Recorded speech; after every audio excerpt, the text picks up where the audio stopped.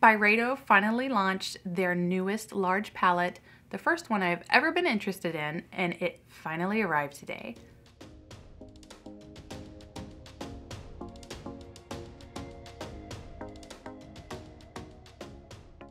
I'm going to have timestamps linked on the video so you can skip to whichever portion of this video that you want to see. If you're curious about the details, stay right there. If you want to skip ahead and just watch the eye tutorial, go ahead and click where you want to click and I'll see you at the end. So let's get into the nitty gritty about this eye palette. This palette is a 12 month shelf life. Woo, 12 months. For $115, I picked mine up off of Selfridges. It is still in stock there for $110. This palette is made in Italy and there are four different types of finishes. There are sparkle, shimmer, metallic, and matte shades. Unfortunately, those are not listed here on the box or on the actual palette itself. The palette is said to be enclosed in a steel component. When I first touched it, it actually felt plastic, so I am not really sure. I'm gonna be honest, I'm not really sure. when I first swatched this palette, one of my shades, this one here, I'm to be very careful with it. This one here fell right out, wasn't even pressed in properly. However, it did not shatter, thankfully, and I was able to put it gently back into the pan. Byredo's website says this is a limited edition 18 pan palette that is inspired by the colors of Sweden and the natural rural landscapes. Cool shades of northern springs, from serene nudes via glittering stones to rich and velvety deep blues. The shades are described as soft and creamy with a lightweight second skin texture that delivers rich color payoff in a single stroke. Each of the shadows are listed on the back with the color names so that you can tell which one is which, but they do not describe the finish of the shadow. This palette has a 12 month shelf life with 30 grams of product divided by 18 shades, but keep in mind each shadow finish will weigh differently depending on how it is made. And last but not least, this is the box that it comes in. It unfortunately does not come in the cloth sleeve. I'm gonna go ahead and prime my eyes with my About Face primer. I've been loving this one. I kind of have no idea which direction I wanna take this which is really unfortunate because at one point I did have an idea of how I wanted to do this and now I don't. I am to start with a matte shade though. I'm going to start off with the Sonia G Blender Pro and I'm going to go into this matte shade in the palette. Whoa. Okay, let's share the love a little bit and put some over here.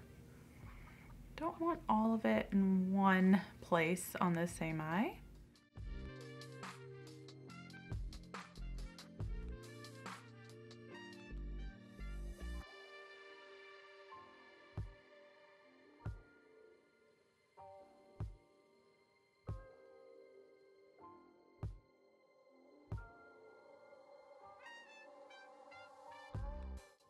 I want to get as much of that pigment off as possible.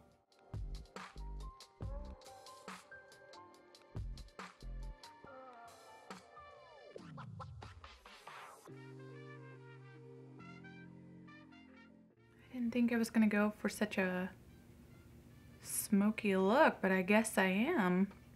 Did you guys see that Danessa Myricks teamed up with James from My Kit Co, the co-founder? Fellow. Oh my gosh, he is so talented. Danessa and James are collaborating on a bl blush brush launch. I definitely do not need any more brushes, but let me tell you, Danessa is creating a yummy skin brush line and I'm all about it. I'm gonna switch to a Rephr 14 and I'm gonna pick up the shade Steel Ray just on the tip of the brush here. I'm to slowly build it up because I'm not really sure how deep and smoky this is to get.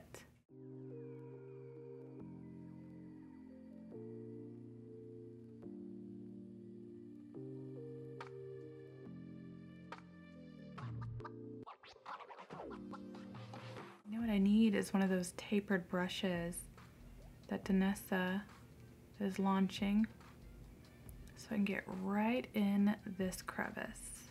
I hope you guys enjoyed the format of eyeshadow swatching on my lids. I thought it was absolutely difficult to do with my eyes. But I like doing that better than just swatching because you can see how it would actually look on your eyes.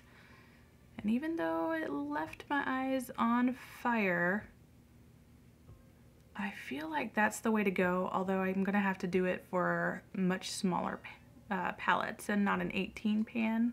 I'm gonna switch over to a Rephr one and pick up the shade Lunar Rhythm on the flat side of the brush. And I'd rather do smaller, excuse me, I'd rather do lighter placements and build up than have to find a way to buff it down.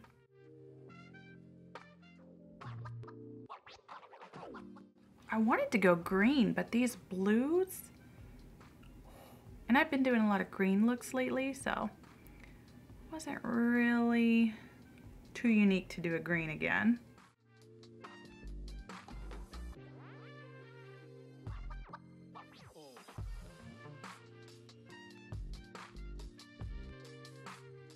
I'm gonna go back in now and buff out with that Rephr 14 brush right where I placed the other blue shade and just diffuse it.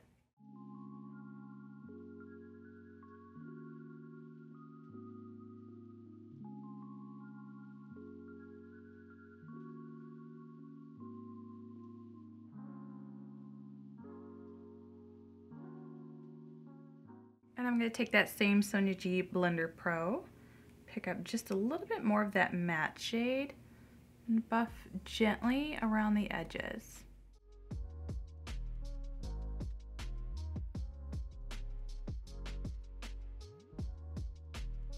I'm going to pick up the shade Sunbeam on a Sonia GT3 and I'm actually just going to pick it up on the tip of the brush here, place this on the inner corner third.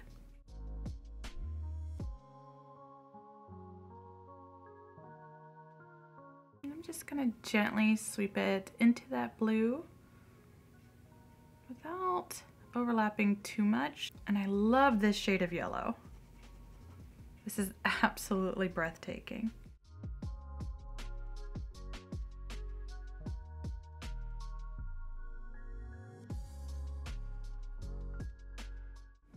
I'm going to take Pink Flame now and on a Sonia G Builder brush and I'm gonna place this all over my lid. And this is dry.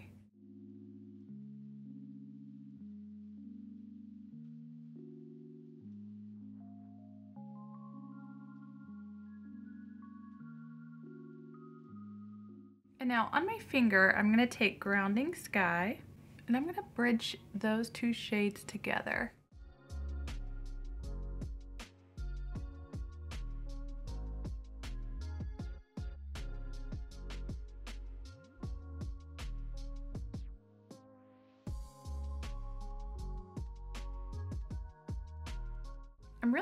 Sure I like that, so I'm going to take a Rephr number two and pick up Solar Flare. Kind of place that over the front here. I like that just a little bit better. Oh yeah. I'm going to take that same shade on a Rephr 13 and highlight my brow arch with it.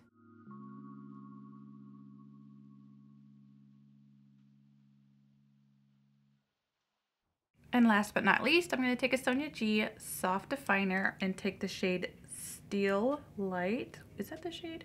Or Soft Beam. I think it's Soft Beam. And I'm just going to place it here to highlight my inner corner. I'm using as many shades as possible to see what will happen. To see if they go together, create a cohesive look. I'm going to take a Sonia G flat definer and pick up the shade Sun Dried and place that on my lower lash line. Now I'm going to switch to a Rephr 3 and I'm going to take that deep blue shade in the outer corner there and place that on my lower lash line.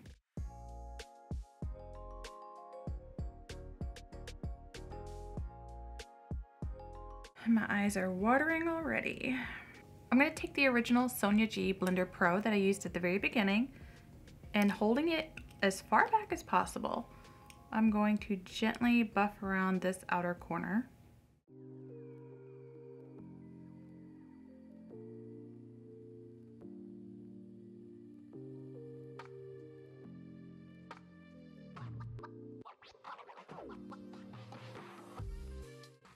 And here you have it. I finished off my look with my Juvia's Place Royal Liner in my waterline. I added on a pair of Kiss lashes in the style High Bun. And I finished my lips with the Hourglass Expose lip liner and the Chanel Rouge Allure L'Extrait, but I don't remember the name of the shade, so I'll put that on the screen somewhere.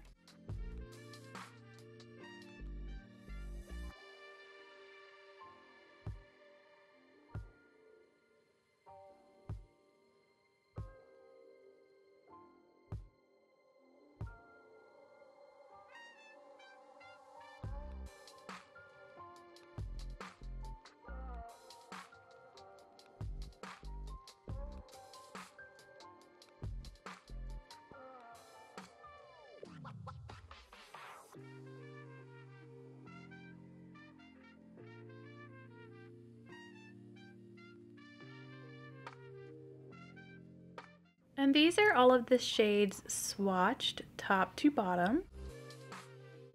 Look number two with the Byredo Mineralscapes palette. Sorry if I'm blinding you.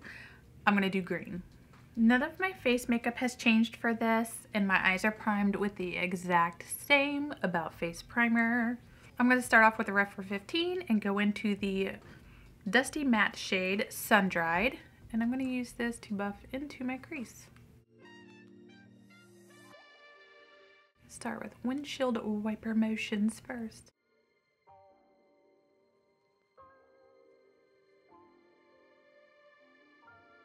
Once I have it placed, I'm going to start doing circular buffing motions.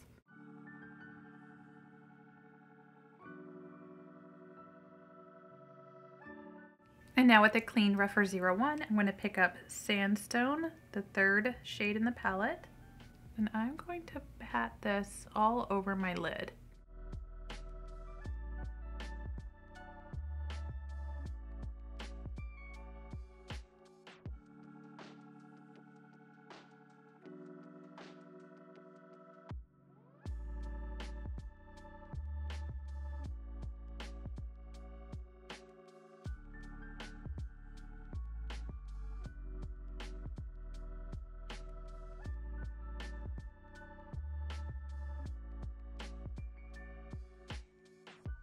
I'm going to take that original Rephr 15 and buff around those edges.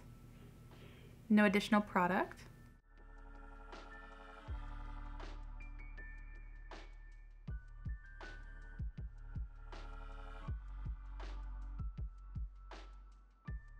I'm going to take a clean Rephr 02 brush and go into this shade. What is this called? Rock Bed? I'm going to try to place that in the center of my lid. It's not really doing anything. Let me try it with my finger. I'm not getting what I want out of it.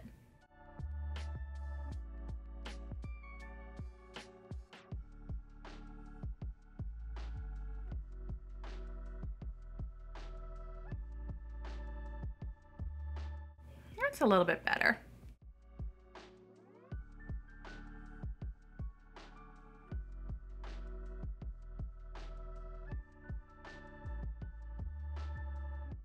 This is a clean Rephr 13. I'm just going to gently buff around the edges of that shimmer. I'm going to take a Sonia G soft definer and go into the Champagne Gold Steel Light. We're going to use this as an inner corner highlight and an accent. I think I did the yellow gold last time, so this one should be good. This one's quite a bit more crumbly in the pan.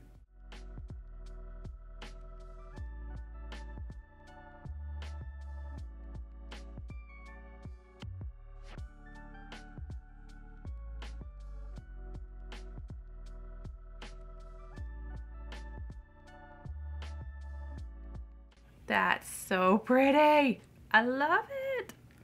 I'm going to take a clean Rephr 14 and go into the shade Mineral, just on the tip of the brush, and I'm going to use this to highlight.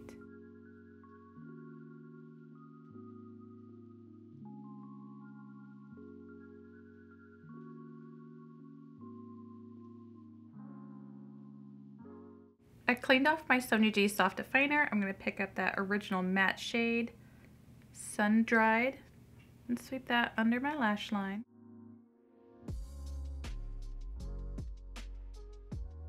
The mirror in this palette is actually large enough to be able to use it, but I just have this habit of using my large mirror. I cleaned off my Sonia G Soft Definer. I'm going to go into Pink Flame. And I'm to use this under my lash line.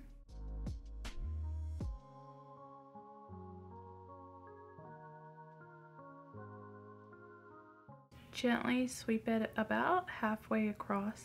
And I'm going to wipe that off one more time. And now I'm going to pick up that shade River Mist on the same brush. And I'm going to bring it all around this outer third. And here we are, look number two with the Byredo Mineralscape palette.